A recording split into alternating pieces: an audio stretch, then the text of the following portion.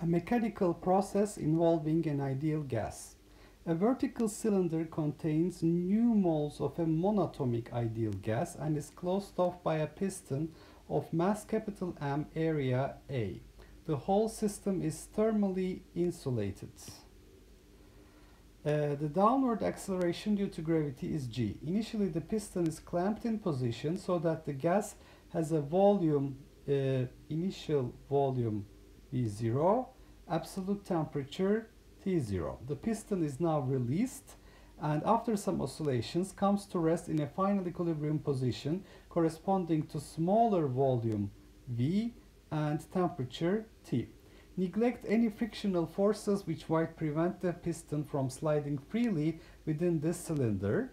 Neglect also the heat capacities of the piston and the cylinder. What must be the final mean pressure of the gas? By considering the work done on the gas and using your knowledge of the properties of an ideal monatomic gas, calculate the final temperature and final volume. Okay. So uh, this is the scenario. We have gas that's trapped in a vertical cylinder and initially the piston is clamped and we release the piston and we wait for equilibrium. So what will happen at equilibrium? Uh, at equilibrium, mechanical equilibrium here, we're going to have the pressure exerted by uh, pressure uh, exerted by the cylinder uh, exerted by the piston on the gas will be uh, P is equal to its weight mg force it's applying uh, per unit area A. So this will be equal to at equilibrium the mean pressure of the gas. So therefore the answer I'm looking for for, uh, for the mean pressure is mg divided by area, cross-sectional area. And now part B, uh, now I'm considering the work done on the gas. Uh, so let's see if this is a quasi-static process, the work done on the gas is uh, minus P bar dV and we have the constant pressure that's mg divided by area being applied on the gas. So the total work done on the gas is minus uh, the integral uh, P bar dV but since the pressure is constant here it will be minus P bar uh, delta V. So we have minus mg divided by the area uh, multiplied by final volume V minus initial volume V0. So we find that the work done on the gas is mg divided by area V0 minus V. Okay, and uh, note that this was a thermally insulated uh, cylinder. So Q is equal to zero because we have a thermal, uh, thermally insulated uh, cylinder. So the work done according to the first law of thermodynamics uh, must be equal to the change in the mean energy of the gas. So this is equal to W.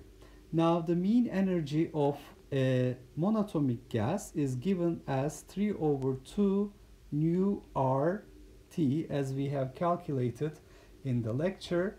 Uh, so the 3 over 2r is the molar specific heat. It comes from uh, uh, the, the, translational kinetic energy of the center of mass. Since it's a monatomic ideal gas, that's the only uh, contribution. So if you look at the change in the mean energy of the system, it will be equal to 3 over 2 nu universal gas constant uh, final temperature minus initial uh, temperature. So this must be equal to the work done which is uh, mg divided by area v0 minus v. So I have two unknowns, volume and temperature, but I have only one equation here. There is one more equation I can use that is the equation of state. Uh, this is an ideal gas. The ideal gas law tells me that uh, P bar V is equal to nu RT. So I can uh, write this as mg divided by the area times the volume is equal to nu RT in the final uh, configuration. So if I go back to my uh, delta E bar, in delta E bar I have, uh, so let's try to calculate uh, temperature here, 3 over 2 nu R uh, T so from delta E bar, I have 3 over 2 nu RT minus uh, 3 over 2 nu RT0 equals to mg over a uh, v0 minus mg over a v which is nu rt. So i substitute uh, mg over a v is equal to nu RT into uh, this part. Now I can isolate the temperature here. So if I take uh, minus nu RT to the left hand side, I, I will obtain a 5 over 2 nu RT is equal to mg divided by area V0 plus 3 over 2 nu r t0. So what I want to do is uh, multiply both sides by 2. So if I multiply both sides by 2, this is going to be 2. This 2 will disappear and this 2 will disappear. So this is basically multiply both sides by 2 and uh, now I can isolate the temperature. The temperature T then I can find uh, by dividing the right hand side with 5 uh, nu R. So if you have 3 nu R divided by 5 nu R you will obtain 3 over 5 T0 plus uh, 2 mgv0 divided by 5 nu R area A.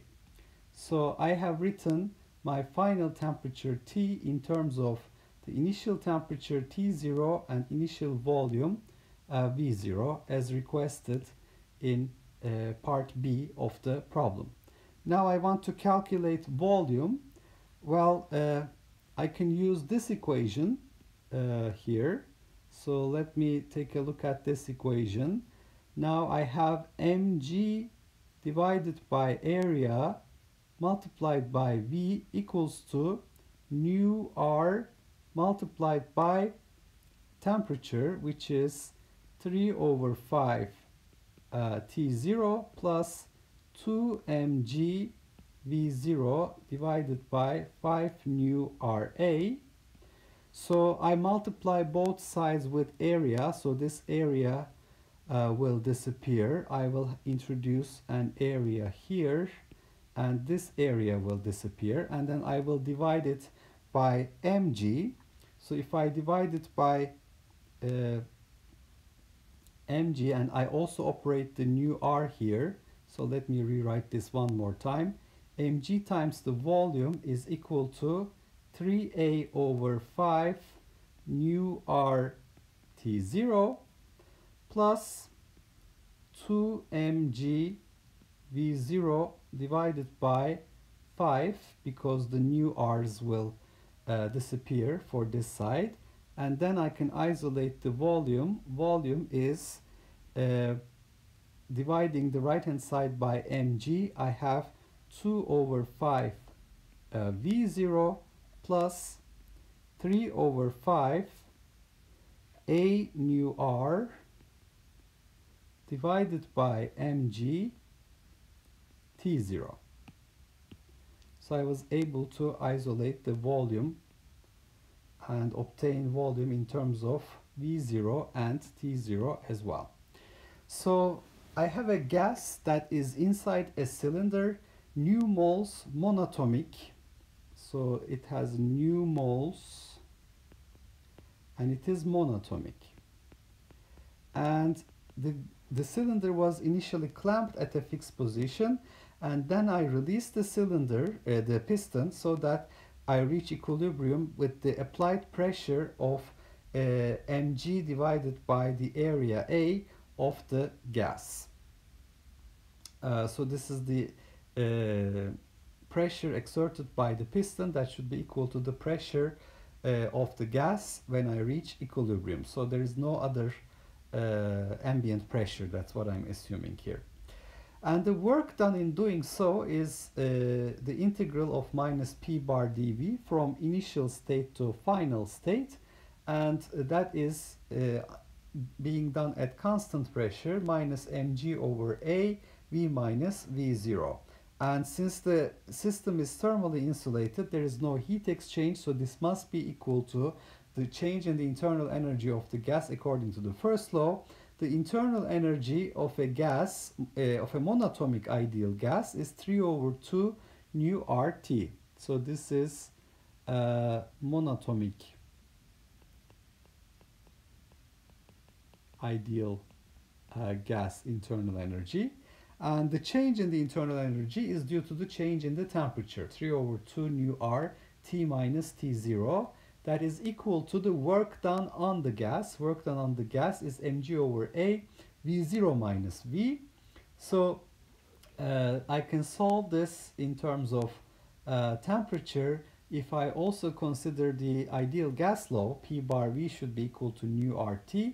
So for the final state, mg over A times V should be equal to nu RT. Using these two equations, I can isolate the temperature and volume and I, I reach the final uh, results T and V written in terms of T0, V0, the gas constant R, nu, M, A, and uh, G.